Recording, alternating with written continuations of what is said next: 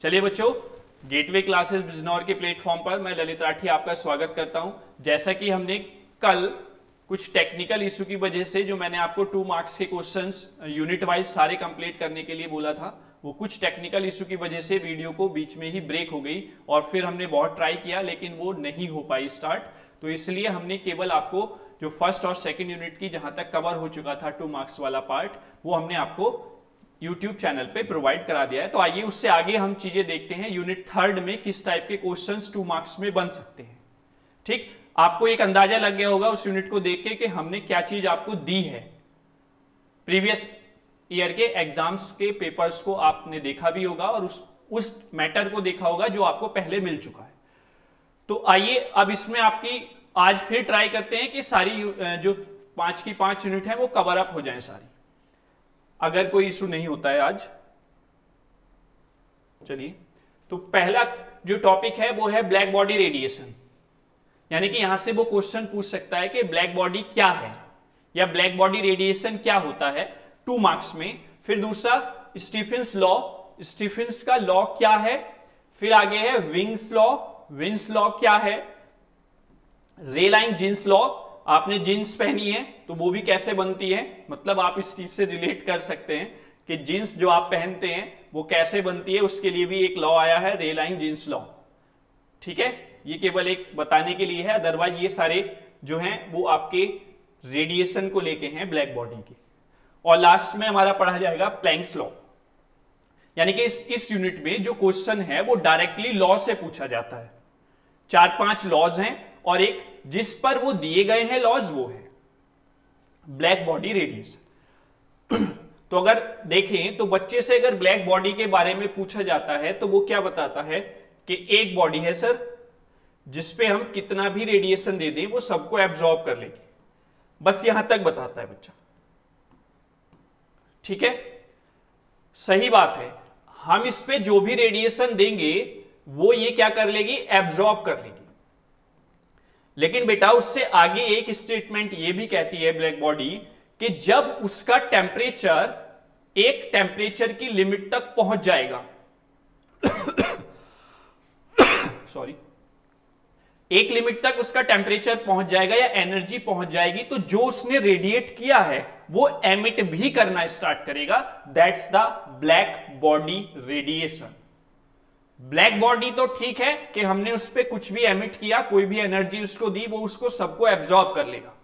लेकिन radiation word जैसे ही जुड़ा, उसका मतलब यह है कि एक स्पेसिफिक टाइम या एक स्पेसिफिक टेम्परेचर पे पहुंचकर वो उस लाइट को फिर एमिट भी करना स्टार्ट करेगा। दैट्स ब्लैक बॉडी रेडिएशन इसका सबसे अच्छा एग्ज़ाम्पल आपने देखा होगा, जब आप लोहे की रोड को गर्म करते हैं।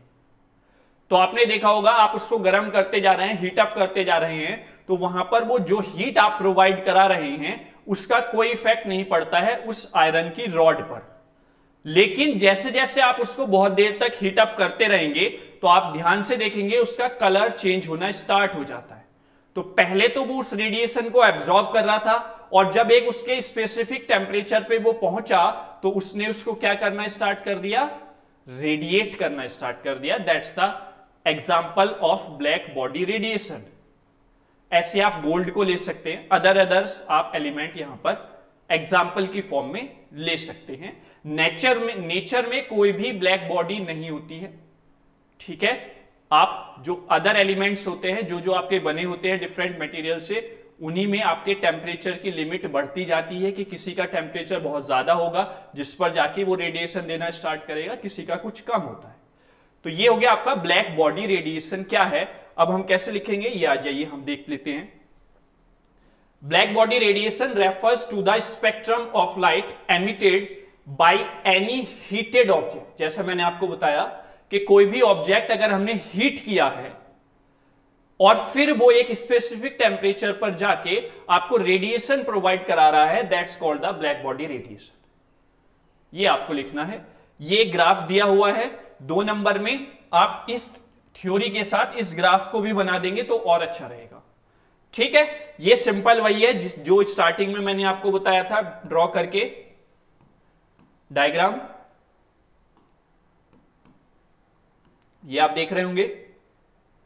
हमने कोई ब्लैक बॉडी, यानी कि कोई बॉडी ले ली है। ठीक? अब हमने आस पर, इससे बाहर से कोई रेडिएशन दिया तो पहले तो ये रेडिएशन को इसमें एब्जॉर्ब ही कर रहा है सारे। में जो भी रेडिएशन आ रहा है इसमें। फिर ये क्या करेगा? एक स्पेसिफिक टेम्परेचर पर जैसे ही हीटअप हुआ, जैसे ही वहाँ तक पहुँचा तो ये क्या करना स्टार्ट कर देगा? एमिट करना स्टार्ट कर देगा रेडिएशन आप देख रहे होंगे यहाँ पर सपोज़ ये कोई मटेरियल है, यहाँ पर उसको जब हमने हीटअप करना स्टार्ट किया तो हीट होता जा रहा है, होता जा रहा है, होता जा रहा है। एक स्पेसिफिक टेम्परेचर पर जाकर फिर ये रेडिएशन देना स्टार्ट करेगा। सेम एज इट इज़ ये दूसरे टाइप का कोई नेचर है मटेरियल का, और ये इस तरीके से है। तो आप देख रहे होंगे यहाँ पर अलग अलग मटेरियल्स के लिए अलग अलग टेम्परेचर है, जिस पर स्पेसिफिक टेम्परेचर पर आपकी बॉडी या फिर वो मटेरियल रेडिएशन देना स्टार्ट करता है। क्लियर तो ब्लैक बॉडी रेडिएशन क्लियर हो गया। यानी कि दो नंबर का क्वेश्चन आएगा तो आप लपेट दोगे इसको। क्लियर अब आते हैं, दूसरा है स्टीफिन लॉ स्टीफिन लॉ क्या कहता है? ये भी आपका दो नंबर का क्वेश्चन है। चलिए इसको देखते हैं क्या कह रहा है। सुनते हैं, फिर हम अपना समझाते it states that the total radiant heat power emitted from a surface is proportional to the fourth power of its absolute temperature मतलब आइंस्टीन सॉरी स्टीफन लॉ का यह कहना है कि जब आप किसी टेम्परेचर किसी भी एलिमेंट को या किसी भी बॉडी को हीटअप करते हैं, और उसमें से जो पावर एमिट होगी सरफेस के proportional to the fourth power of its absolute temperature यानी कि उसका जो एब्सोल्यूट टेम्परेचर होगा, उसके फोर्थ पावर के क्या हो जाएगी? प्रोपोर्शनल हो जाएगी, जो भी वहाँ से रेडिएटेड पावर मिलेगी. या जैसे यहाँ पर लिखा हुआ है, ये एफ़ है ये ई e होगा ठीक है? इक्वल्स टू सिग्मा टी की पावर सिग्मा टी की पावर फोर मतलब कहने का यह है कि अगर हम लें तो ई e डायरेक्टली किसके प्रोपोर्शनल हो जाएगा? टी की पावर फोर के। क्योंकि ये जो सिग्मा है, ये स्टीफेंस बोल्ट्समैन कांस्टेंट हो जाएगा। जो हमारा लॉ है, उसका एक कांस्टेंट है। वो यहाँ पर हो जाएगा। That means E directly proportional to T की पावर फोर मतलब कि जो इसका स्पेसिफिक टेम्परेचर है है ना? एब्सोल्यूट टेम्परेचर है, उसकी पावर फोर उतनी एनर्जी वो रेडिएट करेगा। सिंपल ये है स्टीफिन बोल्ट्समैन लॉ ठीक है बेटा? इसमें ज़्यादा चीज़ें है नहीं, क्योंकि आपको दो नंबर में लिखना है। तो दो नंबर में लिखने के लिए केवल आपको स्टेटमेंट लिखना होगा और उसका फॉर्मूला लिखना है, या फिर अगर उसमें कोई डायग्राम है, वो लिखना है इनफ है। ज़्यादा चीज़ें आपको एक्सप्लेन नहीं करनी इसीलिए मैंने आपको ज़्यादा चीज़ें यहाँ पर प्रोवाइड भी नहीं कराई।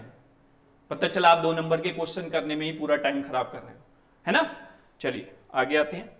आगे है विंग्स लॉ विंग्स लॉ क्या कहता है? इसकी भी सुनते हैं। It states that black body radiation has different peaks of temperature at wavelength that are inversely proportional to temperature मतलब ये कह रहा है कि अलग अलग मटेरियल का नेचर होता है कि वो अलग अलग टेम्परेचर पर अलग अलग वेवलेंथ की लाइट को क्या करे रेडिएट करे, बस ये कह रहा है। कहने का मतलब बस यही है कि टेम्परेचर स्पेसिफिक जो है एब्सोल्यूट टेम्परेचर जो है, वो हर एक मटेरियल के लिए अलग अलग होता है और अलग अलग है तो वहाँ से जो रेडिएशन मिलेगा, उसकी वेवलेंथ भी अलग अलग होगी। और वो किसके प्रोपोर्शनल है? Inversely proportional to the temperatures तो ये स्टेटमेंट बस आपको लिखना है विंस लॉ में, जब वो पूछेगा। ठीक? आगे आते हैं टाइम वेस्ट नहीं करेंगे, क्योंकि हमारे पास आज ही का दिन है, कल हमें युद्ध लड़ना है। है ना? तो डरना नहीं है, धैर्य बना के रखना है, आराम से चीज़ों को कवर अप करना है, सारी चीज़ें हो जाएँगी। आपके पास बहुत सारा मैटर पहुँच चुका है। ये जो रह गया था, हम ट्राई कर रहे हैं रात से, लेकिन नहीं हो पाया। अब थोड़ा सा हमने टाइम निकाल के इसको कवर अप कर लिया है कि जो सारे जो हमारे प्रॉब्लम्स थी, वो रिसॉल्व हो गई आगे आते हैं नेक्स्ट है रेलाइन जींस लॉ इनसे भी मिलते हैं। भाई, कैसे जींस आप पहनते हो, ये बताएँगे आपको, है ना? बेटा, अभी जो हमने पीछे लॉज पढ़े हैं, उसकी एक लिमिट थी, उस लिमिट को ही सॉल्व आउट करने के लिए रे लाइन जींस लॉ आया। जैसे आपको पैंट पहनना नॉर्मल अच्छा नहीं लगता था, आपको फैशनेबल पैंट्स पहननी थी मूवीज़ में देख के हॉलीवुड की मूवी में देख के तो इन साहब ने जींस बना दी आपके लिए। तो यानी कि जो पहले लिमिटेशन थी आपके पास वो अब क्या हो गई? सॉल्व कर दी जींस ने। आप आराम से पहन के जाते हो, बिल्कुल फिट वुट होके आराम से, है ना? हैंडसम से लग के। चलिए देखते हैं क्या कहता है। The law state that the intensity of the radiation emitted by a black body is directly proportional to the temperature and inversely proportional to the wavelength raise to a power of fourth. ठीक है? अब यहाँ पर क्या देख रहे होंगे? जो इससे पहले आपने लॉ पढ़ा विंस लॉ है ना? और अब आप पढ़ रहे हैं रेलाइन जिंस लॉ तो विंग्स लॉ जो है, वो वैलिड है फॉर द लोअर वेवलेंथ और रेलाइन जिंस लॉ जो है, वो वैलिड है फॉर द हायर वेवलेंथ तो इन दोनों के सॉल्यूशन के लिए एक आगे आपका लॉ आएगा प्लैंक्स रेडिएशन लॉ वो जो दोनों हैं, इन दोनों को कवर अप करके लिमिट के लिए दे देता है। तो ये क्या कह रहा है? वो मैंने एक फॉर्मूले में समराइज किया हुआ है कि जो इंटेंसिटी ऑफ़ रेडिएशन है, जो रेडिएशन यहाँ से होगा, उसकी इंटेंसिटी वो किसके प्रोपोर्शनल है? टेम्परेचर के। अगर आप यहाँ से देखें तो ये जो इंटेंसिटी है, हमने लिखा हुआ है, किसी एक स्पेसिफाइड टेम्परेचर पर जो भी आपकी कलर ऑफ़ लाइट का रेडिएशन करेगी ब्लैक बॉडी वो डायरेक्टली प्रोपोर्शनल है टी के। आप देख रहे होंगे यहाँ पर। ये और इनवर्सली प्रोपोर्शनल है किसके? लेफ़्ट की। और उसकी पावर बाई सॉरी उसकी पावर है four fourth power of the wavelength उसके इनवर्सली प्रोपोर्शनल है और जिस टेम्परेचर पर आपका रेडिएशन मिल रहा है, उसके डायरेक्टली प्रोपोर्शनल है। ये दोनों यहाँ पर है। आप देख रहे होंगे ये टर्म्स क्या हैं, ये कॉन्स्टेंट्स हैं। तो हम दोनों का रिलेशन इसके साथ बना सकते हैं इंटेंसिटी ऑफ़ रेडिएशन ठीक है बेटा? तो ये हो गया आपका रे लाइन जिन्स लॉ जिन्स आपने पहन ली, आपको पता चल गया किस किस फैक्टर पे जिन्स आपकी डिपेंड करती है। अब आगे क्वेश्चन है प्लैंक्स लॉ जैसे मैंने बताया कि जो आपका पीछे विंग्स लॉ पढ़ा है, वो लो वेवलेंथ के लिए है और जो रेलाइन जिन्स लॉ है, वो हायर वेवलेंथ के लिए है। तो उन दोनों का सॉल्यूशन यहाँ पर मिल जाता है। जैसे आपने फ़र्स्ट यूनिट में पढ़ा है गैलीनियन ट्रांसफॉर्मेशन अगर स्पीड ऑफ़ लाइट से बहुत कम है आपके फ्रेम की, जो मूव कर रहा है, बहुत कम है, तब गैलीनियन ट्रांसफॉर्मेशन वैलिड है। अदरवाइज़ लॉरेंटस ट्रांसफॉर्मेशन फिर काम आता है। तो वैसे ही आपका ये हो जाएगा। क्या कहता है? वो सुनेंगे यहाँ पर। It states that radiant energy arising from process with in atoms और molecules is emitted in finite quanta each of which is equal to the product of the radiation frequency by a universal constant h. ये simple है equals to H nu और अगर number of atoms बढ़ जाते हैं तो वो N हो जाता है। मतलब ये थ्योरी में लिखा हुआ है। है ना? एक इसका फॉर्मूला ये भी होता है जो आपने यूज़ किया है किसमें? लेजर में जब आइंस्टीन कॉफिशियंट्स आपने फाइंड आउट किए थे। अगर आपको ध्यान हो, मुझे तो बहुत अच्छे से ध्यान है। आप लोग थोड़ा कम ध्यान रखते हैं ना, इसलिए मैं आपको बता रहा हूँ। ये आपका दिया हुआ है फ्रीक्वेंसी ठीक? तो ये आपका ये आता है, ये फॉर्मूला है किसका? प्लैंक्स रेडिएशन लॉ का। है ना? तो इसमें देखें तो आपका फ्रीक्वेंसी के डायरेक्टली प्रोपोर्शनल है किस क्यूब ऑफ़ द फ्रीक्वेंसी जो रेडिएशन आपका हो रहा है, जिस फ्रीक्वेंसी का रेडिएशन हो रहा है, उसके क्यूब ऑफ़ द फ्रीक्वेंसी है ना? तो इस तरीके से आप इसको भी टारगेट कर सकते हैं, या फिर आप अगर ये लिख रहे हैं तो फिर फॉर्मूला आप ये वाला यूज़ कर लें। ठीक? तो ये हो गया प्लैंक्स लॉ बस ये दो दो नंबर के हैं, इनमें आपको ज़्यादा महाभारत नहीं लिखना है, इतना ही महाभारत लिखना है, मैं आपको बार बार यही चीज़ समझा रहा हूँ, क्योंकि बच्चे यही गलतियाँ करते हैं। फिर कहते हैं, सर टाइम कम रह गया, हमें क्वेश्चंस तो आते थे सारे। है ना? तो ये गलती आपको नहीं करनी, क्योंकि आप गेटवे क्लासेस से जुड़े हुए ठीक है? आप विमल सर की शिष्य हैं तो ये वाली गलती मुझे तो नहीं लगता आप करेंगे, वो भी आपको बार बार बताते रहते हैं ना? अब आते हैं यूनिट नंबर फोर पे। चलिए यूनिट फोर पे देखते हैं किस टाइप के क्वेश्चन बन सकते हैं। जैसे मैंने स्टार्टिंग में ही आपको बताया था, जहाँ पर थ्योरिटिकल पार्ट ज़्यादा होगा, जहाँ पर कॉन्सेप्चुअल चीज़ें ज़्यादा होंगी, वहाँ से टू मार्क्स के क्वेश्चन बनने की प्रोबेबिलिटी ज़्यादा होती है। अब सिंपल लॉस जो थे, उनसे वो लॉस से ही तो पूछ सकता है।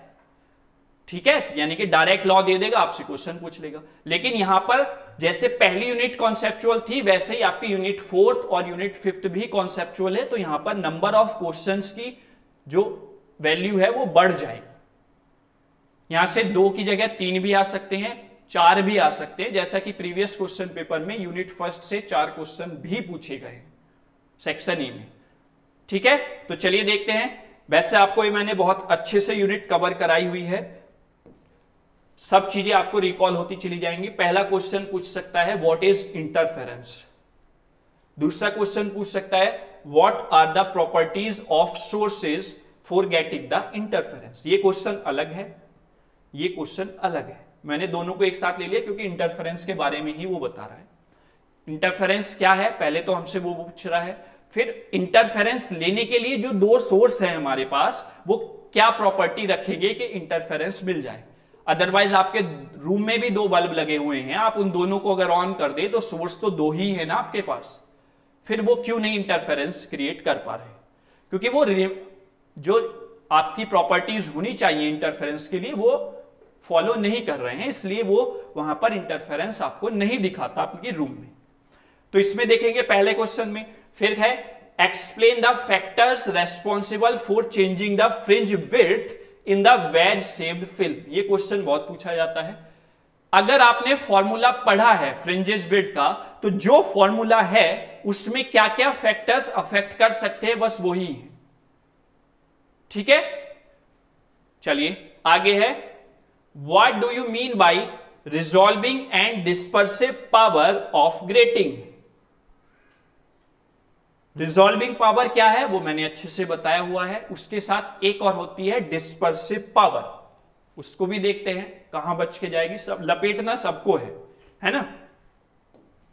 आगे और क्वेश्चन बन सकते हैं। What are Newton ring Newton rings क्या हैं?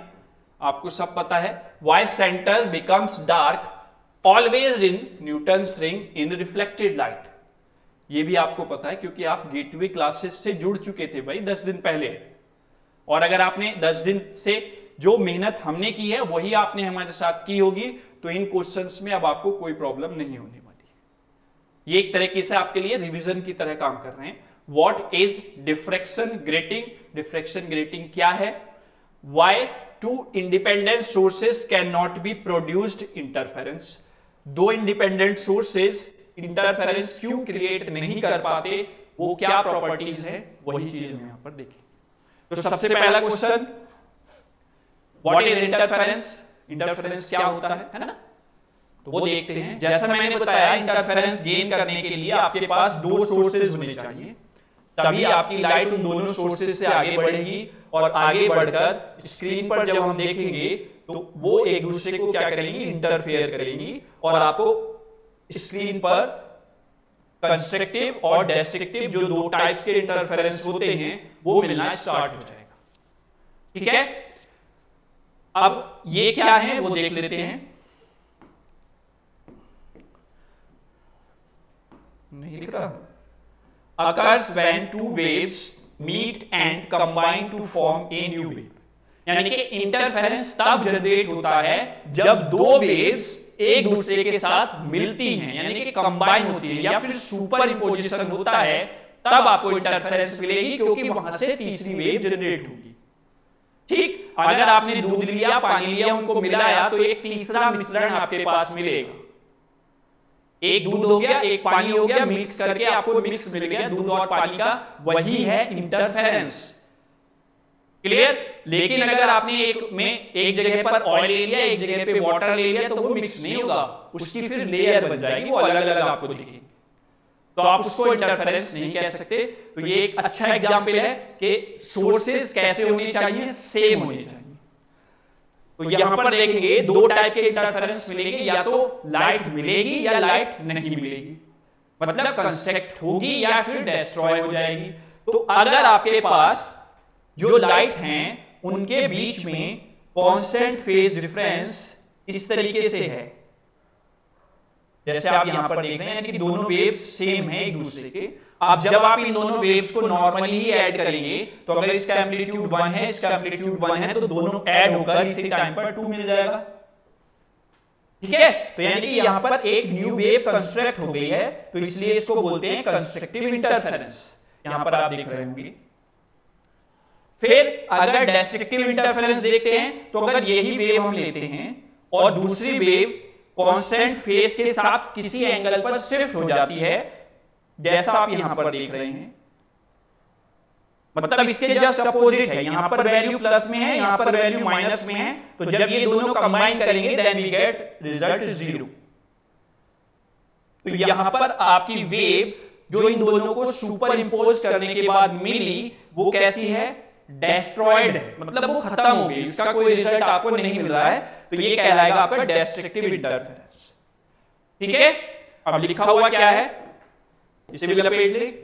The waves generated have a constant phase difference ये है इसका आंसर मतलब ये कह रहा है कि इंटरफेरेंस कब मिलेगा, क्या प्रॉपर्टीज़ होंगी सोर्सेज की वो क्या है कि जो सोर्सेस से वेव जनरेट हो रही हैं, दोनों सोर्सेस से, माना ये वाली वेव और ये वाली वेव दोनों का फेस जो हो, वो कांस्टेंट हो, या फेस डिफरेंस कांस्टेंट हो, वही चीज़ ये कह रहा है फेस डिफरेंस ठीक है? और दूसरा क्या कह रहा है? The waves are of a single frequency waves कैसी होनी चाहिए? सिंगल फ्रीक्वेंसी की वेव्स होनी चाहिए आपके लिए। ठीक? अगर आता है इंटरफेरेंस तो आपको यह लिखना है, जो भी ये डायग्राम के साथ बना हुआ है। अगर आता है व्हाट आर द प्रॉपर्टीज़ तो आपको ये दो प्रॉपर्टी लिखनी है, दो ही नंबर देगा एग्जामिनर चाहे पाँच लिख देना। है ना? तो दो ही लिख के अगर हमारा काम चल रहा है तो हमें टाइम को बचाना है, और इस तरीके से आप इस वेव फॉर्म को नीचे उसके साथ ड्रॉ कर देंगे। ठीक है? क्लियर आगे आते हैं। दूसरा क्वेश्चन था हमारे पास explain the factor responsible for changing the fringe built in the wedge shaped film wedge shaped film में जो फ्रिंजेस बन रही हैं वेज सेव्ड फ़िल्म आपकी ये है, माना यहाँ पर कोई कोई फ्रिंज बनी, कोई यहाँ पर बनी है, कोई यहाँ पर बनी है, कोई यहाँ पर बनी है तो ये किस किस फैक्टर पर डिपेंड कर रही है, वही इसने पूछा है सीधी सीधी लैंग्वेज में। ठीक है? तो हम कर देते हैं, क्योंकि हमें तो पता है सब कुछ। The wavelength of light सबसे पहले किस वेव लेंथ की लाइट आपने यूज़ की है, उस पर डिपेंड करेगा। ठीक है? दूसरा distance between the slits slits के बीच में डिस्टेंस ये वाला, अगर स्लिट्स यहाँ पर हम बोले तो एक प्लेट है एक तरीके से यहाँ पर, है ना? तो इन पर डिपेंड करेगा। Distance between the slit and screen ठीक है? ये गड़बड़ लग रहे हैं तो इन्हें आप छोड़ेंगे, ये पॉइंट्स इसका तो कोई मतलब ही नहीं, ये डिफ्रेक्शन में आ जाएगा, है ना? हम पढ़ रहे हैं वेट किसमें? वेज सेव फ़िल्म हाँ बेटा, ये छोड़ देंगे आप दोनों। ये कोई सेंस नहीं देते यहाँ पर। हमें क्या देखना है? वेवलेंथ दूसरा वेज एंगल मतलब आपकी जो प्लेट्स हैं, वो किस एंगल पे रखी हुई हैं? भाई, इस पे भी तो डिपेंड करेगा, क्योंकि पार्ट डिफरेंस आ रहा है two mu t cos r plus theta ये आता है ना? Two mu t cos r plus theta तो यहाँ पर आर के साथ थीटा भी एक फैक्टर है, जिससे कि आपकी फ्रिंज की विथ क्या होंगी? चेंजेस होगा उसमें। और लास्ट है refractive index of the medium भाई, इस मीडियम के बीच में कैसा रिफ्रेक्टिव इंडेक्स है, उस पर भी तो डिपेंड करेगा ना? है ना? क्योंकि अगर ये एयर है तो वन हो गया। अगर अदर मटेरियल है तो उसके लिए कुछ वैल्यू होगी। माना 1.33 है। अदर्स के लिए 1.45 है। तो इस तरीके से जैसे जैसे ये चेंज होगा, इसका नेचर भी वेव का चेंज हो जाएगा। तो तीन पॉइंट्स हो गए वेवलेंथ पर एंगल पर और refractive index of the medium ये दोनों पॉइंट्स नहीं है, ये डिफ्रेक्शन वाले आ गए शायद यहाँ पर ठीक? तो ये क्वेश्चन है, तीनों पॉइंट्स आप लिखेंगे। इस तरीके से अगर बनाना चाहते हैं, अगर आपको फॉर्मूला याद है तो फॉर्मूला भी लिख देंगे। जहाँ तक मुझे लग रहा है omega equals to lambda upon two mu theta ये कुछ ये तरीके से होता है, जहाँ तक मुझे ध्यान है। और आप एक बार इसको वेरीफाई कर लेंगे। तो यहाँ से आप देख रहे होंगे वेवलेंथ है रिफ्लेक्टिव इंडेक्स है, और आपका थीटा है। इन तीनों फैक्टर्स पर आपका डिपेंड कर रहा है फ्रिंजेस जो वेज थिन फ़िल्म में बन रही है। ठीक? आ जाओ आगे। देखो धीरे धीरे लपेटते चल रहे हैं। आपको नहीं लग रहा होगा कि हाँ दो नंबर के क्वेश्चन इतना बड़ी टास्क है। ये एक डेढ़ घंटे की जो भी वीडियो बन रही है आपकी, ये दोनों आप देख लीजिए। 20 नंबर कहीं नहीं गए, आपको जो सेक्शन ए में मिलेंगे। What do you mean by resolving and dispersive power of grading? तो रिजॉल्विंग पावर मैंने बहुत अच्छे से आपको बताई थी एग्ज़ाम्पल के साथ कि अगर आपके सामने कोई गाड़ी आ रही है नाइट में, जिनकी लाइट्स ऑन है दोनों तो अगर वो दूर है तो आपकी आईज की पावर इतनी नहीं है कि वो दोनों सोर्सेस को सेपरेट देख सके। जैसे जैसे गाड़ी आपके पास आएगी तो जहाँ पर आपकी लाइट की जो दोनों सोर्सेज हैं, यानी कि दोनों हेडलाइट से जहाँ से लाइट आ रही है, जब उन दोनों को जितना स्पेस उनमें है, उतना आप देख लेंगे तो वो आपकी आईज की रिजॉल्विंग पावर हो जाएगी। सेम एज इट इज़ यहाँ पर है। यहाँ पर क्या है? किसी ऑप्टिकल इंस्ट्रूमेंट की वो पावर जो दो नियरेस्ट फ्रीक्वेंसीज की या दो न्यूरेस्ट वेवलेंथ की लाइट को सेपरेट दिखा सके, वो क्या कहलाती है? Resolving power of that optical instrument ठीक? अब डिस्पर्सिव पावर क्या है? इसी में चेंजेस है। कितना चेंज हो रहा है, वो डिस्पर्सिव पावर हो जाती है। तो the resolving power of grating is a measure of its ability to spatially separate two wavelengths या टू नियर वेवलेंस लिखेंगे तो और अच्छा रहेगा। टू नियर वेवलेंस लाइट दो नियरेस्ट वेवलेंथ की लाइट्स को जो इंस्ट्रूमेंट एक्यूरेटली या फिर जो ज़्यादा एक्यूरेट इस एक्यूरेसी के साथ रिजॉल्व कर पा रहा है, उसकी पावर उतनी ही ज़्यादा हो जाएगी। आपने फॉर्मूला भी पढ़ा होगा लैमडा पॉन डी लैमडा इस पे मैंने न्यूमेरिकल भी कराए हुए हैं, आप देख सकते हैं। ये, है ना? तो ये आपका रिजॉल्विंग पावर ही होती है इंस्ट्रूमेंट की। अब लपेट देते हैं भाई आप डिस्पर्सिव पावर को। है ना? The rate of change of the angle of diffraction ये ध्यान से पढ़ेंगे।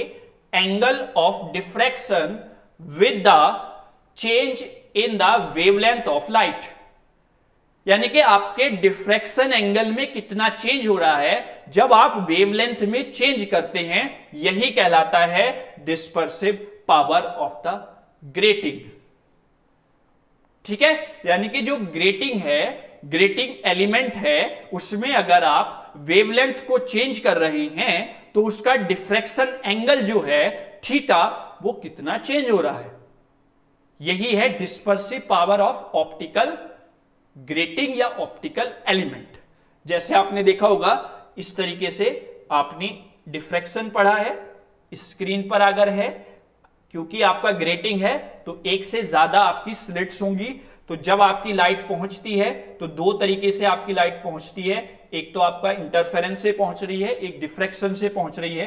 तो जो ये लाइट एंगल पर डिफ्रेक्ट होकर किसी पॉइंट पर पहुँचती है तो ये वाला जो एंगल है, इसमें कितना चेंज हो रहा है? जब हम यहाँ पर लेमडा को चेंज करते हैं। वही चेंज इन एंगल किसके रेस्पेक्ट में? With change in wavelength that's called the dispersive power जैसे यहाँ पर लैम्डा से लैम्डा वन गए तो अगर यहाँ पर पहले एंगल था थीटा और वो चेंज हो गया थीटा वन में तो यही चेंज जो है एंगल में वो डिस्पर्सिव पावर कहलाता। कोई प्रॉब्लम हुई? नहीं हुई ना। पहले देखो कितने भारी भारी नाम लग रहे थे कि दो नंबर में कैसे करेंगे, कितना लिखेंगे। सब चीज़ें हो जाएँगी बेटा। दोनों को अलग अलग भी पूछ सकता है, एक साथ भी पूछ सकता है, कोई इतना बड़ा क्वेश्चन नहीं है। ओके नेक्स्ट है what are Newton ring Newton ring क्या है? Why centre becomes dark always in Newton ring for the reflected light बस ये ये ध्यान रखेंगे। मैं रिफ्लेक्टेड लाइट के लिए बता रहा हूँ ट्रांसमिटेड के लिए नहीं।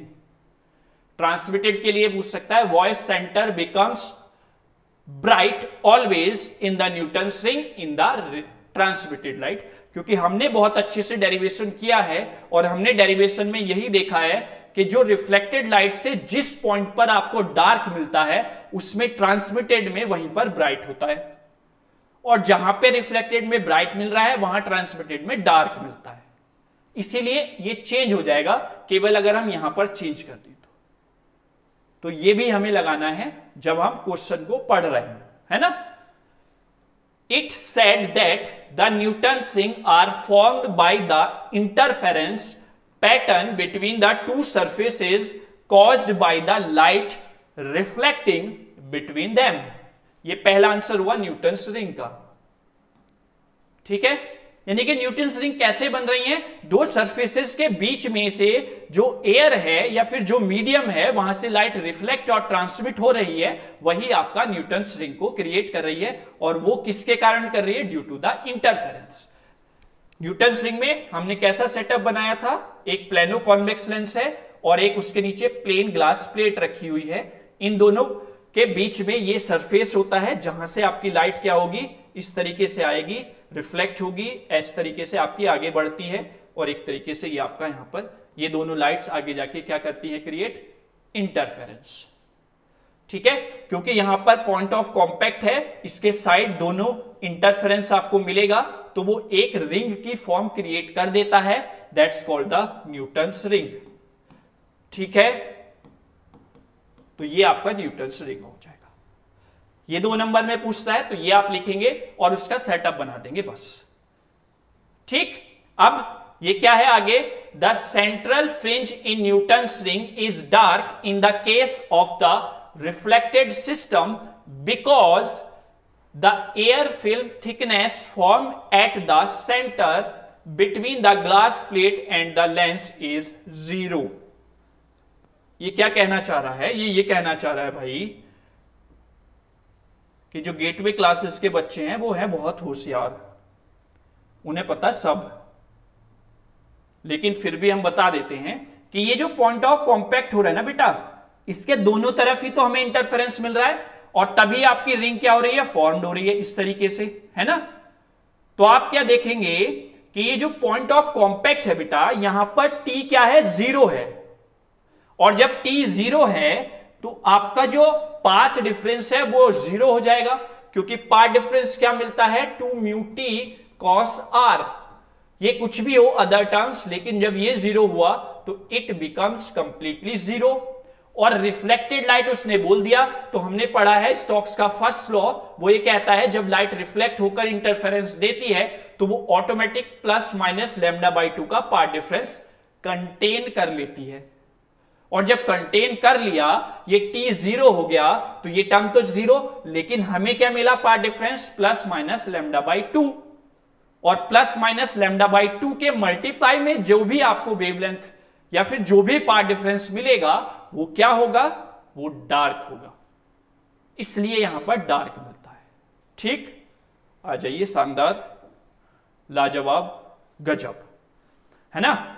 अब आगे वो पूछ लेता है, जो मैंने आपको बताया, वही मैं यहाँ पर दिखा दिया है आपको एक्सपेरिमेंटली क्या है। एक बार मैं इसको देखो, यहाँ पर बता देता हूँ। बड़ा सा डायग्राम है, आपको भी अच्छा लगेगा समझने में। ये पॉइंट ऑफ़ कॉम्पैक्ट है ना बेटा? यहाँ पर मैं इसकी बात कर रहा हूँ। यहाँ पर है टी ज़ीरो और टी ज़ीरो हुआ तो two mu t cos r plus minus lambda by two जो पार्ट डिफरेंस मिला, उसमें आप टी ज़ीरो रखेंगे तो आपको जो पार्ट डिफरेंस मिलेगा, डेल्टा, वो कितना मिलेगा? Plus minus lambda by two. यही मिलेगा ना? और जब ये plus minus lambda by two आपको मिला है तो ये कैसे फ्रिंजेस देगा? ये आ गया ये सेंटर आप देख रहे होंगे, ये सेंटर है डार्क। जो मैं चला रहा हूँ, वो भी नहीं चल रहा। नु कह रहा है कि कुछ नहीं चलूँगा। तो ये इस तरीके से आपका बनता है। कभी कभी बेटा वो डायरेक्ट क्वेश्चन दे देता है कि draw the setup of Newton ring दो नंबर में। तो आपको केवल ये सेटअप बना देना ये सिंपल ये भी नहीं बनाना, केवल ये सेटअप आप बना देंगे। खेला खत्म। ठीक? तो ये वही एक्सप्लेनेशन है, उसका जो हमने पीछे लिखा हुआ है। अब आते हैं व्हाट इज़ डिफ्रेक्शन ग्रेटिंग इसका भी खत्म कर दे काम। आ जाओ। जब मैंने आपको डबल स्लिट डिफ्रेक्शन का एक्सपेरिमेंट कराया था, तब मैंने आपको यह बताया था कि जो डिफ्रेक्शन ग्रेटिंग है, उसमें केवल क्या है? नंबर ऑफ़ स्लिट्स बहुत ज़्यादा होती है। यानी कि एक सेंटीमीटर में 1500 तक स्लिट हो जाती स्लिट्स हो जाती है।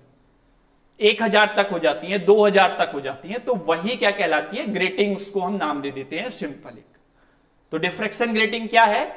A diffraction grating defines an optical component with in a periodic structure that split the light into various beams ये नहीं बोला इसने कि एक बीम में या दो बीम में है। दो तक तो हमें पता है डबल स्लिट है।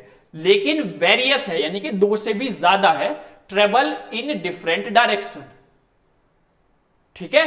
तो वो क्या कहलाएगी? डिफ्रेक्शन ग्रेटिंग कहलाएगी। ये यहाँ पर आप देख रहे होंगे, बहुत सुंदर सा डायग्राम आपके लिए बना के लाया गया है। एक स्लिट, दो स्लिट, तीन स्लिट, चार स्लिट, पाँच स्लिट, ये केवल आपको समझाने के लिए है, ये थाउजेंड्स में जाती है। अब ऐसा नहीं कि एग्ज़ाम में आप जब बनाने स्टार्ट हुए तो थाउज़ेंड ही गिन रहे हैं कि सर ने थाउज़ेंड बताया था। कि कम से कम एक हज़ार तो होंगी, एक हज़ार बनाओगे तभी नंबर मिलेंगे। ऐसा कुछ नहीं है दो से ज़्यादा दिखा देना। छह सात दिखा देना, वो काम चल जाएगा, है ना? तो देखो आप इस स्लिट से इधर जा रही है लाइट यहाँ जा रही है, यहाँ जा रही है, यहाँ जा रही है और यहाँ जा रही है। अब आगे एक और कॉन्सेप्ट मैंने आपका क्लियर करा यहाँ पर। एक कॉन्सेप्ट क्या है कि आप देख रहे होंगे सेंटर पर आपको केवल व्हाइट मिलता है, क्योंकि इसी को बोलते हैं सेंट्रल मैक्सिमा सबसे ज़्यादा इंटेंसिटी ऑफ़ लाइट आपकी यहीं पहुंचेगी। उसके ऊपर नीचे आपको इंटरफेरेंस से भी लाइट मिलेगी और डिफ्रेक्शन से भी मिलेगी। तो यहीं पर क्या हो जाते हैं? ऑर्डर मिस हो जाते हैं, क्योंकि दोनों के कॉम्बिनेशन से आपकी लाइट पहुँचती है एक पर्टिकुलर पॉइंट पर। ये आप देख रहे होंगे फ़र्स्ट ऑर्डर रेनबो मतलब यहाँ पर कॉम्बिनेशन मिलेगा आपको। इधर ये दूसरी साइड भी यही हो गया। फिर सेकेंड ऑर्डर रेनबो मिल जाएगा सेकेंड ऑर्डर रेनबो मिल जाएगा। तो ये आपका हो जाएगा डिफ्रेक्शन ग्रेटिंग का काम तमाम। चलो इसे भी लपेट दें। क्या कहना चाह रहा है भाई ये? आ जाओ। Why two independent sources can not be produced interference अच्छा। गेटवे क्लासेस के बच्चों को उलझा रहा है। क्या कहना चाह रहा है कि इंडिपेंडेंट सोर्सेस क्यों नहीं प्रोड्यूस करते इंटरफेरेंस ये तो दस दिन पहले पढ़ लिया गेटवे क्लासेस के बच्चों ने। जो आज बताया जा रहा है। और ये डरा रहा है क्वेश्चन तो डरने की ज़रूरत नहीं है, समझ लो क्या है। क्यों नहीं जनरेट कर पाते? अभी हम पीछे प्रॉपर्टी पढ़ के आए हैं कि इंटरफेरेंस लेने के लिए जो सोर्सेज से लाइट आती है, उनके बीम्स के बीच में फेस डिफरेंस इक्वल हो। और जो आपके इंडिपेंडेंट सोर्सेज होते हैं मतलब कि जो कोहिरेंट सोर्सेज नहीं होते, उनमें ये प्रॉपर्टी नहीं होती। उसका तो एक इधर को भागेगा, एक इधर को भागेगा। जबकि कोहिरेंट है, वो हाथ पकड़ के चलेंगे कि भाई तू अगर कुएँ में जाएगा तो मैं भी कुएँ में कूदूँगा। इस तरीके से, है ना? भेड़ चाल, जैसे मैंने पीछे भी एग्ज़ाम्पल दिया था, भेड़ चाल चलती। तो आगे आते हैं, कोहिरेंट लाइट या कोहिरेंट लेजर लाइट ये क्या कहती है भाई? लेजर लाइट क्योंकि लेजर में बहुत सारी प्रॉपर्टीज़ आपने पढ़ी हैं, आगे भी मैं दो नंबर में बताऊँगा, है ना? तो ये अगर आप देख रहे होंगे तो यहाँ पर जो वेव्स आपकी ट्रेवल कर रही हैं बहुत सारी ये जो बीम ट्रेवल कर रहा है वेव्स का, वो कैसे है? सेम है। भेड़ चाल चल रहा है। है ना? इधर आधा नहीं भाग रहा। क्योंकि इसके कंटाप लगता है और कंटाप लगने के बाद इसे पता है कि इस वाली ही लाइन में चलना है। स्टिमुलेटेड एमिशन समझाया था, जब दो कंटाप लगे थे, तभी वो नीचे आ रहा था। तो वही चीज़ है, जब कंटाप लग जाते हैं तो आपकी लाइन भी सीधी हो जाती है। अगर नहीं पढ़ोगे तो विमल सर बहुत पिटाई करते हैं। ठीक? तो अब अगर इसी को आप कंपेयर करें इन कोहिरेंट सोर्सेज से तो इन कोहिरेंट सोर्सेज में क्या होता है? ये भेड़ चाल नहीं चलते, ये कहते चाहे चार कंटाप मान लो या पाँच मान लो, विमल सर पढ़ने के ना हम। हम तो भैया इधर आधर ही भागेंगे। हम यूट्यूब पे सर्च करेंगे कहाँ से पढ़ना गेटवे क्लासेस पे ना पढ़ने के। अब फिर रोएँगे बैठ के वहाँ जब एग्ज़ाम देंगे, है ना? तो वो ये हालत है। उन बच्चों की जो गेटवे क्लासेस से दूर भाग रहे हैं। उन्हें यही नहीं पता कि पढ़ना क्या है और पढ़ना कहाँ से और ये वो हैं जो हमारे होनहार छात्र हैं, जिन्हें विमल सर ने लपेट रखा है अच्छे से। कि यहाँ आ जाओ गारंटी है गारंटी है, बीस नंबर का मिलेगा ही।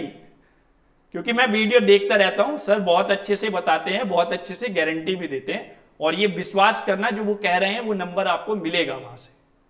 ठीक? तो ये हो गया आपके कोहेरेंट सोर्सेज ये होगा इनकोहेरेंट तो बेटा आपको पता चल गया होगा इनकोहेरेंट सोर्सेज क्यों नहीं जनरेट कर पाते इंटरफेरेंस है ना? जैसा कि यहाँ पर दिया हुआ है यंग्स डबल स्लिट एक्सपेरिमेंट वहाँ से हम क्या करते हैं, अगर आप नेचर में देखें तो ये जो दो लाइट्स आपके रूम में लग रही हैं, ये कभी भी कोहेरेंट सोर्सेज नहीं होंगी। हाँ, आप इनको बना सकते हैं। कैसे? जैसे एक बल्ब है, उसके आगे आपने एक स्लिट लगाई, जब यहाँ से लाइट पास हुई तो यही वाली लाइट आगे दो स्लिट से पास हो रही है। ठीक है? तो जब दो स्लिट से पास हो रही है तो दो सोर्सेज हो गए अब यहाँ पर। अब ये दोनों सोर्सेज एक ही सोर्स से जनरेट हो रहे हैं तो दोनों सोर्सेज के पास जो लाइट होगी वो सेम प्रॉपर्टी की होगी। तो ये हो जाएगा आपका कोहिरेंट लाइट सोर्सेज ठीक? जो इंटरफेरेंस प्रोड्यूस करेंगे इनकोहेरेंट नहीं करेंगे। क्लियर देखना कैसे? जो दो प्रॉपर्टीज़ कोहेरेंट के लिए लिखी थी, उनको बस नो करके लिख देंगे कि ये इसमें नहीं होती है। और ये डायग्राम बना देंगे ये वाला। बस इससे काम हो जाए एग्जामिनर समझ जाएगा ये गेट पे के पढ़े हुए हैं तो गलत तो कुछ होगा ही नहीं, है ना? अब यूनिट फोर्थ का खेला भी खत्म लास्ट यूनिट है। छोटे छोटे टॉपिक्स है सेपरेट करके भी पूछ लेता है एक के साथ दो दे देगा क्योंकि छोटे छोटे टॉपिक है सारे। पढ़ लेते हैं दो पार्ट्स में मैंने इसको डिवाइड किया है क्योंकि आपका एक लेजर वाला पार्ट है एक ऑप्टिकल फाइबर वाला पार्ट है। है ना? तो पहले हम ऑप्टिकल फाइबर वाले का काम खत्म करते हैं और फिर लेजर वाले को देखते हैं। लेजर वाले में कितनी दम है। है ना? छोड़ेंगे हम किसी को नहीं।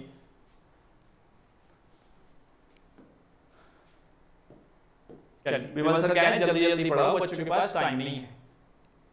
मैं कह रहा हूँ बच्चे तो टाइम निकाल रहे हैं। उन्हें तो लग चाहिए कि गेट में क्लास से वीडियो आए। और हम लग जाए। चलिए एक्सप्लेन सबसे पहले टीआईआर पूछ लेता है। क्या होता है? एक्सेप्टेंस एंगल पूछ लेता है। एक्सेप्टेंस कोन पूछ लेगा। आज आपको आइसक्रीम भी खिलाई जाएगी यहाँ पर विमल सर की तरफ़ से। न्यूमेरिकल अपर्चर पूछ लेता है। क्रिटिकल एंगल पूछ लेता है। एटीन्यूएशन पूछ लेगा। और डिस्पर्सन पूछ लेगा आपसे कुछ भी पूछ ले छोड़ेंगे हम कुछ नहीं है ना? तो अब इसको धीरे धीरे समझ लेते हैं क्या है। टीआईआर से आप बहुत ही अच्छे से परिचित हैं। टीआईआर क्या है? ऑप्टिकल फाइबर का वर्किंग प्रिंसिपल है भाई ये। अब मैं नहीं मानता कि कोई भी समझ नहीं पाएगा कि टीआईआर क्या है और क्या लिखना है। सबसे पहली वाली लाइन तो यही लिखेंगे it is the working principle of optical fibre और टीआईआर में आ जाओ। ये है दो मीडियम का एक क्या है यहाँ पर सरफेस है। नीचे दूसरा मीडियम है ऊपर दूसरा मीडियम है। तो अब टीआईआर कैसे आपको मिलता है वो मैं आपको बताने जा रहा हूँ।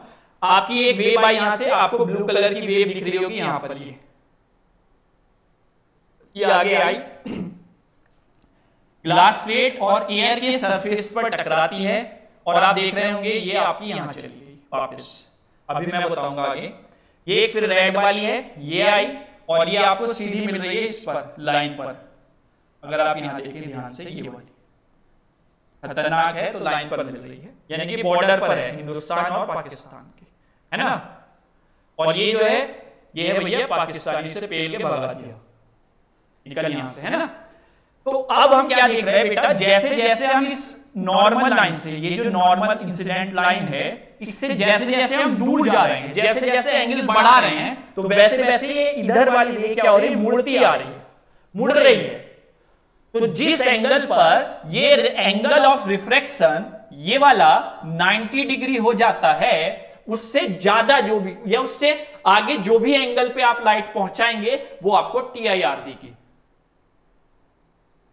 ठीक है?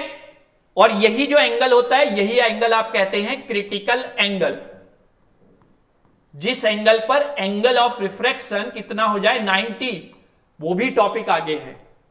तो यहीं पे आपको समझ में आ गया होगा क्रिटिकल एंगल क्या है? जिस एंगल पर आपका एंगल ऑफ़ रिफ्लेक्शन 90 डिग्री हो जाए, वो क्रिटिकल एंगल होता है।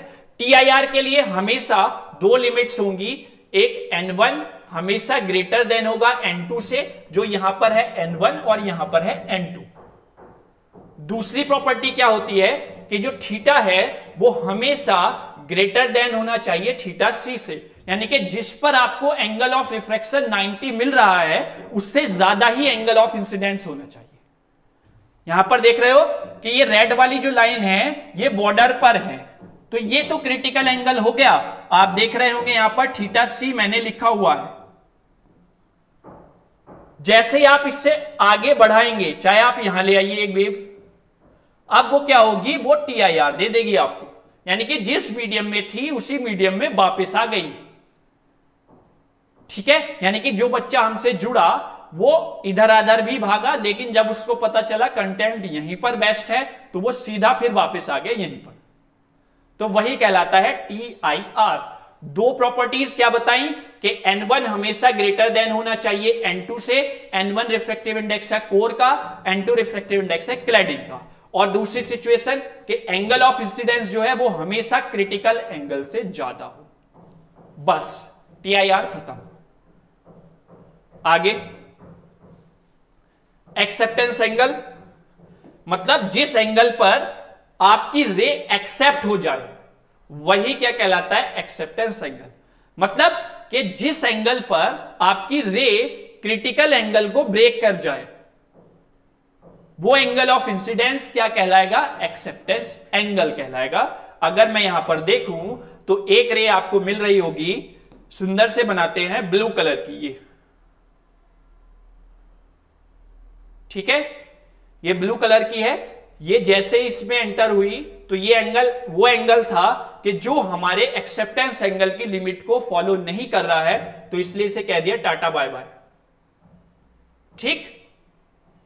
अब आगे जैसे ही हम पहुँचे, इस एंगल को हमने बढ़ाया, यानी कि हम ऑप्टिकल एक्सिस की तरफ़ बढ़े तो अब हमारे पास दूसरी लाइन आई, ये वाली। जब आपने देखा तो ये वो वाली लाइन है जिस पर एंगल ऑफ़ रिफ्रैक्शन क्या मिलता है? 90 तो ये वाला एंगल क्या हो जाएगा भाई? क्रिटिकल एंगल और जब हमने इसके लिमिट के अंदर वेव को एंटर कराया रेड वाली वेव को तो हमने क्या देखा? वो सीधे लहरें लेती हुई हमारी सरफेस पे टकराई और सीधे लहरें लेती हुई फिर, फिर उसी में आ गई जिस मीडियम से ट्रेवल कर रही थी यानी कि कोर में। तो ये जो रेड वाला एंगल है वेव का यहाँ से यहाँ तक this is the maximum angle at which the light accepted in the optical fibre that's called the acceptance angle ठीक है? अब इसी से रिलेट करके मैं आगे का टॉपिक बताता हूँ एक्सेप्टेंस कोड भाई, ये तो है नहीं कि लाइट इधर से ही हम देंगे इसमें। ऑप्टिकल फाइबर जो होते हैं, उसमें ऐसा थोड़ी ना कि भाई इधर से ही आप लाइट पहुंचाएँगे, तभी आपका मोबाइल चार्ज होगा। भाई, आप तो सीधा मोबाइल का चार्जर लगा देते हैं डेटा केबल लगाते हैं फ़ोन में लगा देते हैं। ठीक? तो आपकी लाइट रेज ये सेम एज इट इज़ इधर से भी तो आ सकती हैं। ऐसे, माना ये ब्लू वाली आई, ये इधर टकराई, और इसे कह दिया, टाटा बाय बाय आप बाहर चली जाइए। आप यूनिफॉर्म में नहीं है, ठीक है? फिर ये वाली लाइन आई, है ना? इसको कह दिया कि आप थोड़ा वेट करिए, आपको भी देखते हैं, आपका क्या हिसाब है? क्योंकि इसने बहाना बनाया कि सर गंदी हो गई थी, या अभी मैं आ रहा था, मैं गिर गया था, वगैरह वगैरह। तो इसे कह दिया, चलो होल्ड रख लेते हैं इसको। फिर आई ये रेड वाली, बिल्कुल प्रॉपर ड्रेस में आ रहा है। यहाँ से आया, सीधा इसको एंट्री मिली और सीधा ये चला गया। है ना? तो ये ऐसा नहीं कि इधर से ही आएँगी, इधर से भी आ सकती हैं। तो ये जो रेंज है, कौन सी? ये वाली। ये that's called the acceptance cone यानी कि maximum range of the acceptance angle at which या under which all the rays accepted by the optical fibre that's called the acceptance cone ice cream खाइए? तो आइसक्रीम की जो कोन होती है, इस तरीके से तो उसमें उतनी ही तो आइसक्रीम आएगी। अगर आप उससे ज़्यादा रखोगे तो वो तो बाहर निकल जाएगी, रायता फैला देगी। तो उस कोन के अंदर जितनी आइसक्रीम आप डालोगे, वो क्या हो जाएगी? एक्सेप्ट हो जाएगी उसके अंदर। वही कहलाता है एक्सेप्टेंस कोन, क्योंकि वो एक रेंज प्रोवाइड करा रहा है ठीक? तो दोनों हमने लपेट लिए इसी डायग्राम में एक्सेप्टेंस एंगल भी और एक्सेप्टेंस कोन भी। ये एक्सेप्टेंस कौन था, जो मैंने पीछे ही आपको बता दिया है, ये वाला। आइसक्रीम जो खाते हो आप, कौन वाली, है ना? चलिए, आगे आते हैं। न्यूमेरिकल अपर्चर चलो इसे भी लपेटते हैं, क्या है? न्यूमेरिकल अपर्चर कुछ नहीं है। अगर आप फॉर्मूला लिखना चाहते हैं तो फॉर्मूला होता है N equals to square root of N one square minus N two square engineers की खासियत होती है, अगर उससे डेफिनेशन नहीं बन रही तो जो फॉर्मूला है, उसी से डेफिनेशन वो बना देता है। तो आप इससे भी डेफिनेशन बना सकते हैं, गलत कोई नहीं करेगा। ठीक है? लेकिन सीधी लैंग्वेज में अगर हम समझे तो numerical aperture light gathering capacity होती है ऑप्टिकल फाइबर की। मतलब आपके दिमाग में कितनी कैपेसिटी है कि आप कितनी जल्दी या कितना ज़्यादा चीज़ें को कवर अप कर सकते हैं शॉर्ट टाइम पीरियड में, वो आपका न्यूमेरिकल अपर्चर हो जाएगा। जैसे आपने सिंगल मोड फाइबर पढ़ा है मल्टी मोड फाइबर पढ़ा है तो सिंगल मोड की कैपेसिटी है केवल एक ही मोड वो ट्रेवल कराएगा अपने अंदर से।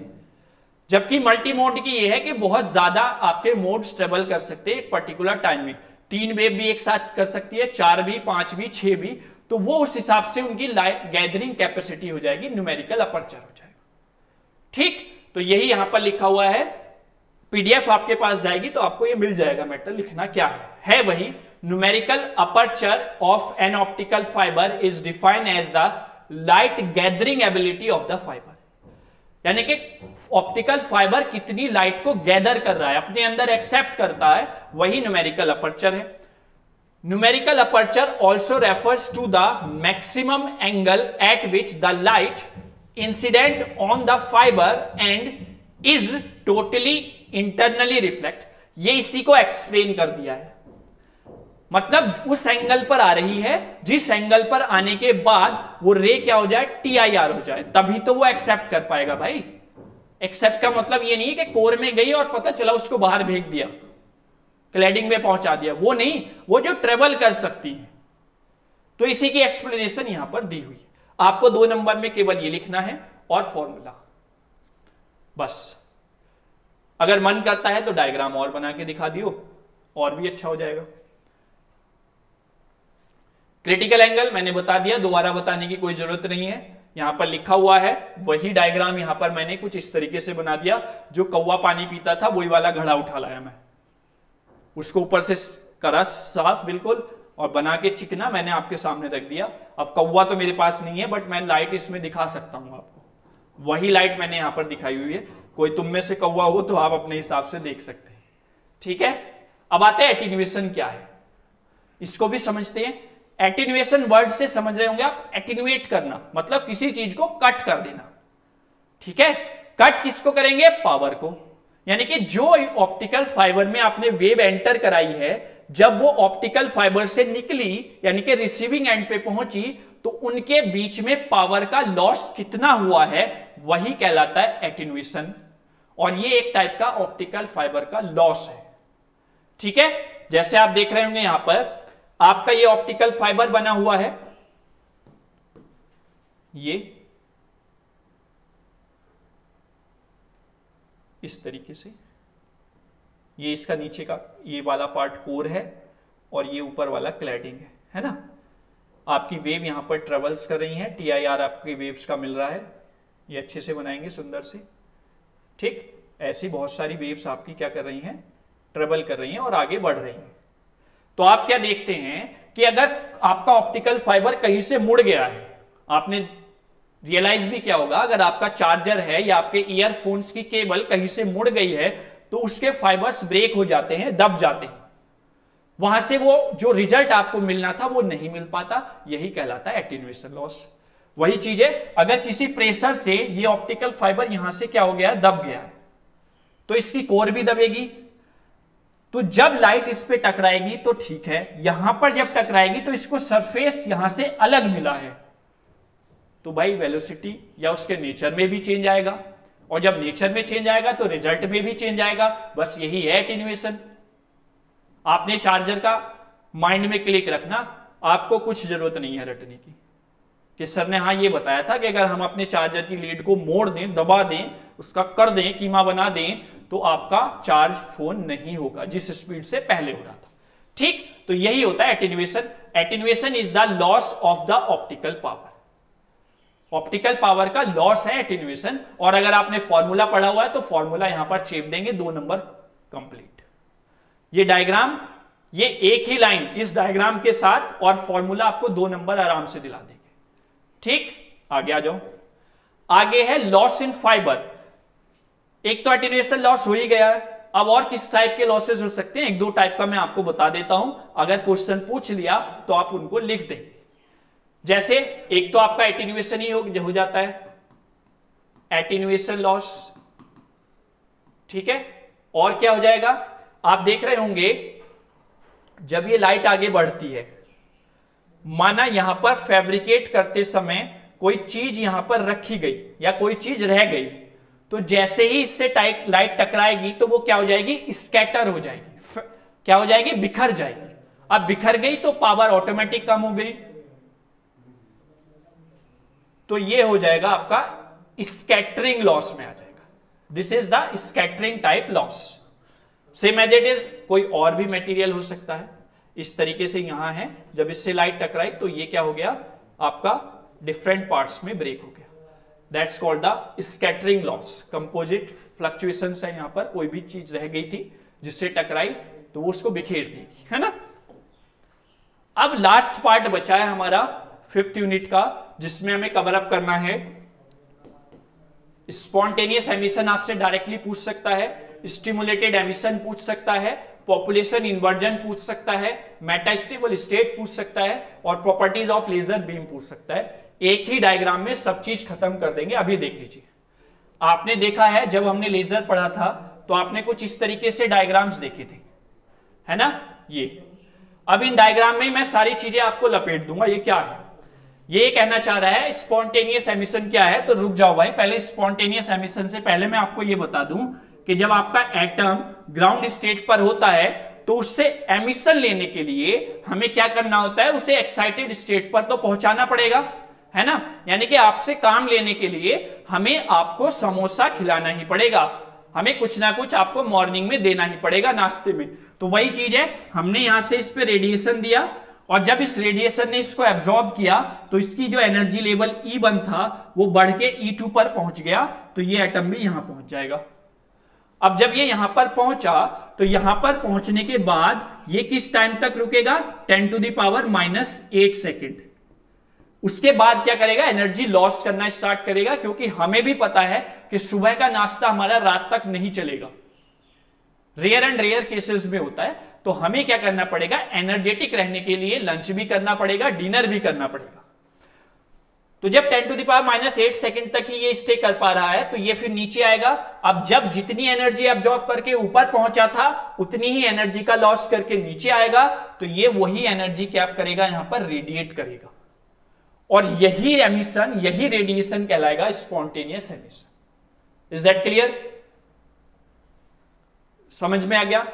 अब जब आगे आप देखेंगे तो यही एटम्स अगर नंबर ऑफ़ एटम्स हम यहाँ पर बढ़ा लें, या सिंपल लैंग्वेज में, जब ये एटम ऊपर से नीचे आ रहा है तो एक एक्सटर्नल फोर्स और हमने अप्लाई कर दिया, यानी कि एक एक्सटर्नल फोटोन अगर ऑफ़ इस पे इंसिडेंट हो जाए तो यहाँ से ज़्यादा नंबर ऑफ़ फोटोन्स क्या होंगे? एमिट होना स्टार्ट हो जाएँगे। और यही एमिशन कहलाएगा स्टिमुलेटेड एमिशन जो वर्किंग प्रिंसिपल किसका होता है? लेजर का। आप बहुत अच्छे से जानते हैं। और ये वर्किंग प्रिंसिपल होता है एलईडी का। जैसा मैंने आपको दोनों को इंट्रोड्यूस कराया हुआ है। अब ये जो एमिशन है स्टिमुलेटेड एमिशन इसके लिए हमें ज़रूरत होती है पॉपुलेशन इन्वर्जन की। अब पॉपुलेशन इन्वर्जन का मतलब क्या है? कि पॉपुलेशन इन्वर्जन का मतलब यह है कि बेटा, अगर यहाँ पर नंबर ऑफ़ इलेक्ट्रॉन्स ज़्यादा हैं दैट मीन्स एन वन है ई वन एनर्जी लेवल पर ई टू एनर्जी लेवल से, जिस पर एटम्स है एन टू तो यहाँ पर अगर हम पॉपुलेशन इन्वर्जन कराएँगे तो आपको क्या करना होगा? Number of atoms N two greater करने होंगे एन वन से। तभी आपको क्या मिलेगा? पॉपुलेशन इन्वर्जन ये आप देख रहे हैं यहाँ पर। इसके कंपैरिजन में नंबर ऑफ़ एटम्स यहाँ पर ज़्यादा है then we get the population inversion क्योंकि जब तक ये अचीव नहीं करेंगे, तब तक हम लेजर एक्शन को अचीव नहीं कर सकते। और ये अचीव करने के लिए आपका हेल्प करेगा मेटास्टेबल स्टेट क्योंकि बेटा, अगर आप एक जगह पर दूसरी जगह के कंपैरिजन में ज़्यादा देर तक एटम को स्टे करा देते हैं तो वहाँ पर आपके एटम्स क्या होना स्टार्ट हो जाएँगे? इकट्ठा होना स्टार्ट हो जाएँगे। और जब इकट्ठा होना स्टार्ट हो गए तो वहीं पर क्या होगा? पॉपुलेशन का इन्वर्जन हो जाएगा। और जैसे ही पॉपुलेशन इन्वर्जन मिला, आपको स्टिमुलेटेड एमिशन मिल जाएगा। तो यही पॉपुलेशन का इन्वर्जन बढ़ाने के लिए एक स्टेट यहाँ पर आती है। That's called the metastable state ठीक है? क्यों? क्योंकि यहाँ पर अगर आप देखें, एक एनर्जी लेवल E3 था। जब एटम आपका एक्साइट होगा तो कहाँ पे पहुंचेगा? E3 पर। यहाँ रुक रहा है 10 to the power minus eight second कर के लिए। लेकिन यहाँ पर स्टे कर रहा है 10 to the power minus three second इसके कंपैरिजन में ये बहुत ही ज़्यादा है। तो यहाँ पर एटम्स इकट्ठा होना स्टार्ट होंगे। और जब यहाँ पर एटम्स इकट्ठा होना स्टार्ट होंगे तो आप देख रहे होंगे एन वो सॉरी N2 और N1 के बीच में पॉपुलेशन इन्वर्जन आपको मिल गया है। तो जब ये एटम नीचे आएगा तो यहाँ पर फोटोन्स ज़्यादा जनरेट होना स्टार्ट हो जाएँगे और we get the stimulated emission जो किसका वर्किंग है? लेजर का। ठीक? लपेट दिया, एक ही डायग्राम में ना देखो। कोई प्रॉब्लम यहाँ से बेटा वो क्वेश्चन डायरेक्टली पूछ लेता है सेपरेट ये टॉपिक्स कि स्पॉन्टेनियस एमिशन क्या है, इसको एक्सप्लेन कीजिए। स्टिमुलेटेड एमिशन क्या है, इसको एक्सप्लेन कीजिए। पॉपुलेशन इन्वर्जन को डिफाइन कीजिए। मेटास्टेबल क्या होती है, उसको डिफाइन कीजिए। और इसमें आप लास्ट बचता है कि प्रॉपर्टीज़ ऑफ़ लेजर क्या है। तो प्रॉपर्टीज़ ऑफ़ लेजर और समझ लेते हैं। ये चीज़ मैंने यहाँ पर बताई है, आपको सेपरेटली आगे मिली हुई है। स्पॉन्टेनियस एमिशन ये मिला हुआ है। जब मैंने डेरिवेशन इसका कराया है या फिर लेजर वाला पार्ट कराया तो वो सारा डिस्क्रिप्शन वहाँ पर अवेलेबल है।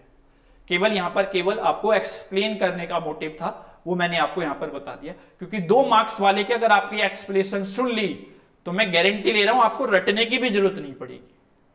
बस आप सुन लो इन वीडियो को, ठीक है? फिर ऐसे ही स्टिमुलेटेड एमिशन है, यहाँ पर देख रहे होंगे आप, दो फोटोन्स जनरेट हो रहे हैं। जब हम इसको फोर्स्ड कर रहे हैं, क्योंकि आपका एटम अभी भी यहीं पर है। ठीक है? पॉपुलेशन इन्वर्जन आप यहाँ पर देख रहे होंगे। पॉपुलेशन इन्वर्जन यहाँ पर नंबर ऑफ़ एटम्स हैं, यहाँ पर नंबर ऑफ़ एटम्स हैं, और यहाँ पर आप देख रहे होंगे नंबर ऑफ़ एटम्स बहुत ज़्यादा है, जिनका लाइफ टाइम है ten to the power minus three second तो यहाँ पर ज़्यादा समय के लिए आपके एटम्स स्टे कर पा रहे हैं। As compare to this one ये सेवन लिखा हुआ है, ये ten to the power minus eight second होता है स्टैंडर्ड है ना? तो आप यही लिखेंगे, यही मेंशन करेंगे तो ये सारी चीज़ें हो गई यहाँ पर, ये पॉपुलेशन इन्वर्जन को इंडिकेट कर रही है। ठीक है? एक मिनट, पानी ले लें।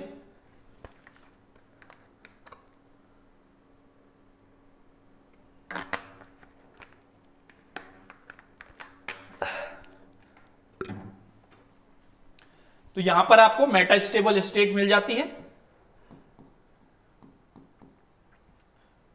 सिंपल अगर मैं आपको लैंग्वेज में बताऊँ सब में क्या क्या आपको लिखना है स्टिमुलेटेड स्पॉन्टेनियस एमिशन वो एमिशन है, जहाँ पर आपके फोटोन्स जो जनरेट होते हैं, वो नॉन कोहिरेंट नेचर में होते हैं।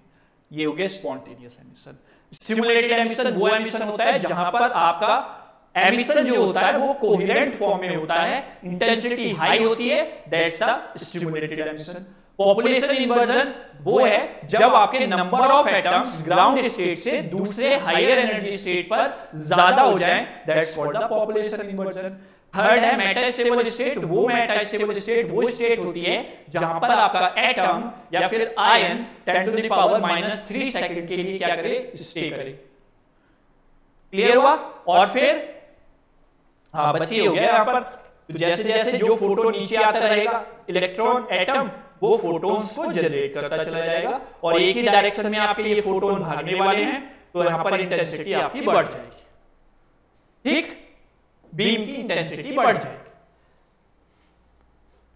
आगे properties of laser beam laser beam की प्रॉपर्टीज़ क्या कहती हैं? वो यहाँ पर हम देखते हैं। प्रॉपर्टीज़ ऑफ़ लेजर बीम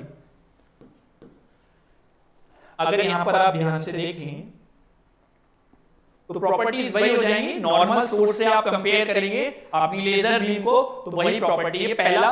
ये लेजर लाइट है, ये नॉर्मल लाइट है। जैसा मैंने बताया था नॉर्मल लाइट के पार्टिकल्स इधर उधर भागते हैं, यानी फोटोन्स इधर उधर भाग रहे हैं। है ना?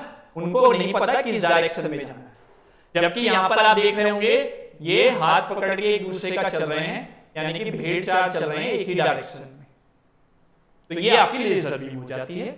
पहला मोनोक्रोमेटिक होना चाहिए, विजिबल, है ना? और ये पॉलीक्रोमेटिक है। मतलब इसकी डायरेक्शन का ही नहीं पता, या सिंपल आप बोल सकते हैं नॉन क्रोमेटिक होता है। कोहेरेंट होता है, ये नॉन कोहेरेंट होती है। मतलब इसके जो फ़ेज़ इसके जो फोटोन्स है, उनके बीच में फ़ेज़ डिफरेंस कांस्टेंट है। और इनके बीच में कांस्टेंट नहीं है, डिफरेंट डिफरेंट है। आगे है, डायरेक्शनल होते हैं, ये वाले, जैसा आप देख रहे हैं, एक ही डायरेक्शन में चलेंगे सब एक साथ। ये डायरेक्शनल नहीं होते हैं। एक उधर को भाग रहा है तो एक दूसरी साइड को भाग रहा है। हाई इंटेंसिटी होती है, क्योंकि भाई अगर एक साथ बहुत सारी बीम्स एक ही डायरेक्शन में जा रही हैं तो उनकी इंटेंसिटी हाई हो जाएगी। एज कंपेयर टू एक इधर जा रही है, एक इधर जा रही है, एक इधर जा रही है।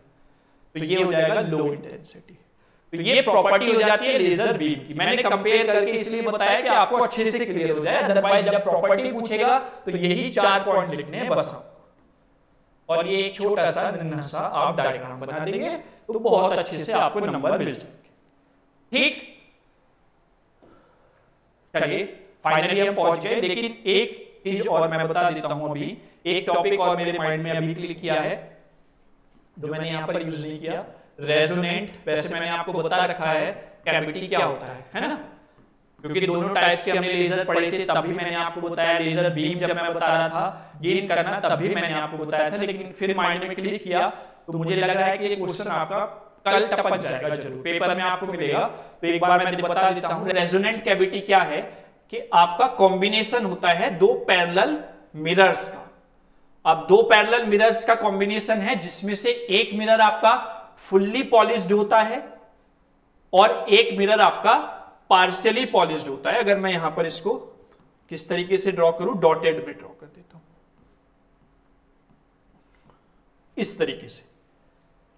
ठीक है? ये स्लिट्स नहीं है, इसको आप स्लिट्स मत समझना। ये पार्सली रिफ्लेक्टर हमने लगाया हुआ है। तो अगर फोटोन्स यहाँ पर जनरेट हो रहे हैं तो इस तरीके से आगे बढ़ रहे हैं। जो फोटोन्स यहाँ से निकल सकते हैं, वो निकल जाएँगे। ये बहुत छोटा एरिया होता है। जब इस छोटे एरिया से नंबर ऑफ़ फोटोन्स बहुत ज़्यादा निकलेंगे तो वो इंटेंसिटी ऑफ़ बीम क्या हो जाएगी? बढ़ जाएगी। या high intensity of light beam आपको मिलेगी। तो यही कहलाता है रेजोनेंट कैविटी जो हेल्प करता है इंटेंसिटी ऑफ़ लाइट को बढ़ाने में। क्योंकि लेजर का यही प्रॉपर्टी है कि आपको एम्पलीफाइड बीम ऑफ़ लाइट मिले। है ना? तो ये हो जाता है आपका रेजोनेंट कैविटी जो हेल्प करता है amplified the intensity of light intensity of laser beam चलिए फाइनली थैंक यू जुड़ने के लिए बहुत बहुत धन्यवाद और मैं आपको एक मैसेज देना चाहता हूँ कि सबसे पहले best of luck for the exam जो आपका कल होने वाला है है ना? उसके लिए आपको बहुत बहुत शुभकामनाएँ। अच्छे से करना है, घबराना बिल्कुल नहीं है। जो जो मैटर आपको दिया गया है, वो एग्ज़ाम के पॉइंट ऑफ़ व्यू से एक्यूरेट है। आप इन यूनिट इन दोनों वीडियोस को, क्योंकि दो पार्ट्स में आपके पास पहुंचेगी टेक्निकल इश्यूज़ की वजह से तो आप इन दोनों को देखें आराम से। मैं गारंटी लेता हूँ कि आप दो नंबर का क्वेश्चन तो मिस नहीं करेंगे यहाँ से। और जो भी आपको सेपरेट टॉपिक्स दिए गए हैं, वो आप ज़रूर देख लें। अभी आपके पास एक नाइट का समय है, जिससे कि आप इजीली कवर अप कर सकते हैं, जो पॉइंट आपका छूट गया है। यूनिट फ़र्स्ट और सेकंड आपको दूसरे वाले चैनल पर मिल गई है। उसकी प्लेलिस्ट भी अवेलेबल है। वो सर ने आपको ग्रुप में सेंड कर दी है। तो उसमें कंफ्यूज होने की ज़रूरत नहीं क्योंकि मैं कमेंट देख रहा था। सब कोई यूनिट फ़र्स्ट के बारे में पूछ रहा है, कोई सेकंड के बारे में पूछ रहा है, कोई न्यूमेरिकल्स के बारे में पूछ रहा है। बेटा फ़र्स्ट और सेकंड का आपको दे दिया गया लिंक वहाँ पर आप जाके देखेंगे। और तीन, चार और पाँच यूनिट के सारे न्यूमेरिकल्स मैंने यहीं पर कराए हैं, जिस तरीके के न्यूमेरिकल्स बन सकते हैं। अदर तीनों यूनिट्स के टॉपिक्स यहाँ पर कराए गए हैं, जो इंपॉर्टेंट है है ना? और जो टू मार्क्स के हैं, वो मैंने पाँचों यूनिट्स के दो पार्ट में कवर अप करा दिए चलिए अगेन आपको बेस्ट ऑफ़ लक एग्ज़ाम के लिए थैंक यू एंड जय हिंद।